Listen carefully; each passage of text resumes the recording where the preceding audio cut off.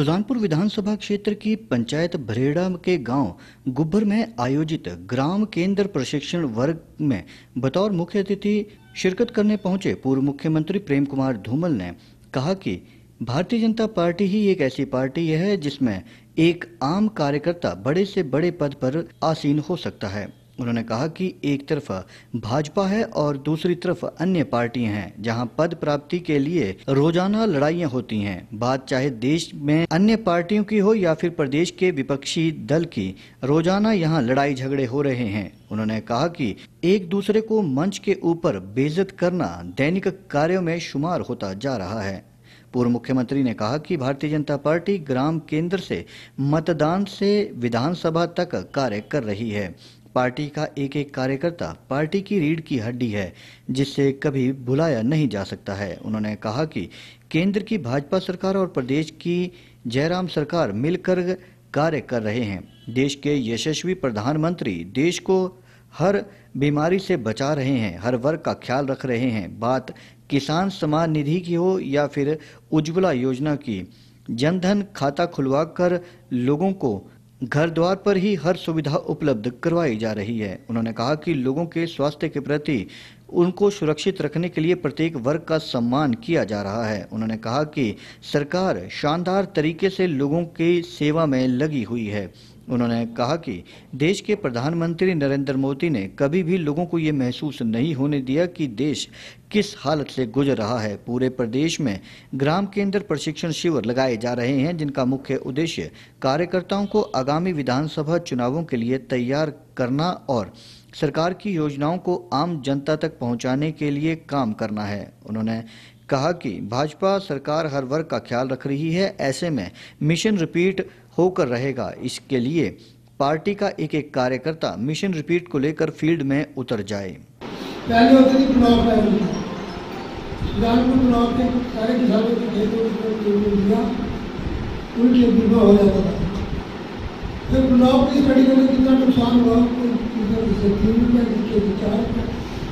इसको देता कुछ नहीं था। अब एक एक खेत का बीमा आप करा सकते हैं। इंडिविजुअल अकेला अकेला किसान भी अपने खेत का बीमा सकता है फ़सल का नुकसान, उसी में असेस होगा। और बीमा की जो पीरियड है, पहले बोलते फ़सल तैयार हो जल के तो पता नहीं गया मोदी ने कहा जिस दिन खेत तैयार करके किसान की फ़सल बीजी जा सकती है। उस दिन से लेके फ़सल काटने के पंद्रह दिन बाद तक। मानो मैंने खेत तैयार करके पूरी मेहनत करती आप जो दिया लेकिन बारिश नहीं हुई फ़सल बीजी नहीं गई तो कोई मुझे कुछ मिलेगा क्योंकि मैंने मेरे किसान आपने फ़सल काट ली दस दिन के बाद चढ़ गए तो भी मिलेगा। इंडिया में तुमने फ़सल काटने के लिए बेचे तेरा मजदूर पंद्रह दिन तक वो भी करो तो फ़सल बिजाई से पहले से लेकर फ़सल कटाई के पंद्रह दिन बाद तक आप बीमा करेगा यूरिया पूरी होती थी पार्टी के आगे कर तो जब से मोदी बने हैं सात साल से यूरिया की कोई शिकायत नहीं आती क्योंकि यूरिया पहले दो बड़ा को इंडस्ट्री को चल जाती थी ब्लैक हो जाती थी अब यूरिया नीम है तो नीम का राष्ट्र हो जाता है तो फैक्ट्री के काम की नहीं रहती है तो आए किसान के काम रहेगी नीम चढ़े तो कीड़ा नहीं है। तो यूरिया की कोई कमी नहीं आज खाद की बोरी कितने की मिल रही है हज़ारों करोड़ की कोई काम मोदी सरकार ने क्या किया जो मंडियाँ हैं उसके अलावा एक लाख करोड़ का और दिया मंडियाँ बनाओ लेकिन अगर किसान को लगता है कीमत प्राइवेट वाला जा देता है तो वहाँ दे सकता है। प्राइवेट वाला खरीदेगा तो दलाल को दलाली देगा नहीं को आर्थिक नहीं मिलेगी। तो वो पैसा बचेगा हज़ारों करोड़। वो कमाई होती थी आरती होती थी वो आंदोलन कर रहे हैं। मैं सुन के हैरान हो गया, मुझे कितना लगता है। कि किसान हरियाणा से फ़ोन किया रहा हमारी पार्टी, एक है मैं बीजेपी का हूँ। मैं नेता को सुधार से आंदोलन को खत्म कर कहता इतना बाहर से भी समर्थन मिल रहा है। उनको ये आंदोलन कार्यों के लिए काजू, पिस्ता, बादाम, किशमिश, ऐसा ड्राई फ्रूट चाहिए। उन्होंने तो कहा कुछ रेट सस्ता करा दो। बाहर वाले कह रहे हैं, मुफ्ती ले जाओ कंटिन्यू करो। हिंदुस्तान की सरकार, मोदी सरकार आज विश्व गुरु बनाने में जा रही है देश को। देश आगे बढ़ रहा है अमेरिका जैसे देश भी खतरा महसूस करते हैं कितने आगे बढ़ गए तो विदेशी शक्तियाँ भी इनके साथ जुड़ी हुई है कि मोदी सरकार फिर हो तो पीछे। और इसमें कुछ देश कोई चाहता है वो भी जीत जाती है तो एक पोलिंग बूथ पर एक मिनट करना पड़ेगा और हमारा एरिया तो फौजी एरिया है। कारगिल में बावन शहीद हुए तो बक्सर के नौ थे लोग टोटल देश से बूंदे लोग मरे थे थे। तो नौ में थे। तो आपको ये बताना पड़ेगा कि मोदी ने क्या किया? जब कांग्रेस सरकार थी तो था कि गोली आप लग भी जाए तो तुमने गोली नहीं चलानी दिल्ली से पूछना। हमारी सरकार ने क्या कहा?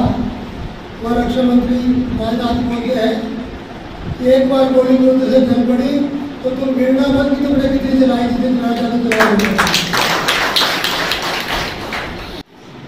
तो दुकान करता, उसके भी दो खेत हैं। जो नौकरी करता, उसके भी हैं। परसों क्या घटना घटी बहुत बड़ी। प्रधानमंत्री किसान सम्मान निधि उन्नीस हज़ार पाँच सौ करोड़ रुपया दिया गया।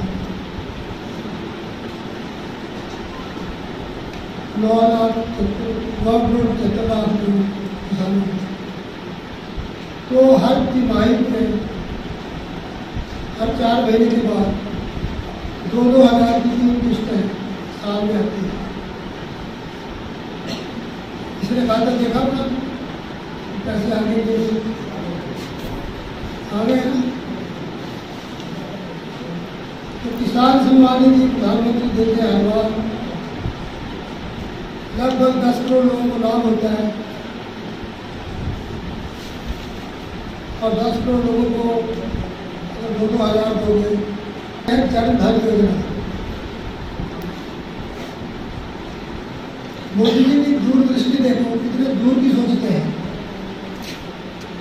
किसान सम्मान निधि बाद शुरू हुई सबसे पहले कहा दो हज़ार दो में जन धन योजना तो क्या थी कि हर आदमी का खाता खुलेगा हर परिवार का खाता बैंकों का राष्ट्रीयकरण उन्नीस सौ उनहत्तर में हो गया, श्रीमती इंदिरा गांधी ने कर दिया लेकिन उन्नीस सौ उनहत्तर से लेकर दो हज़ार चौदह तक छह करोड़ परिवारों के खाते थे छह करोड़ एक सौ तीस करोड़।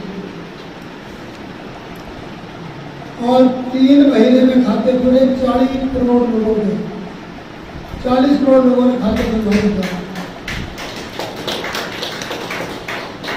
और इससे क्या हुआ? जब जो पैसा आपके खाते में आना है वो सीधा बैंक में आता है। याद करिए, राजीव गांधी ने क्या कहा था? उन्होंने कहा कि मैं दिल्ली से सौ रुपया भेजता हूँ गाँव के आदमी के लिए। तो पचासी रुपये कोई खा जाता फिर पंद्रह और टारगेट कौन होता था? तो सच भी देना फिर करते थे।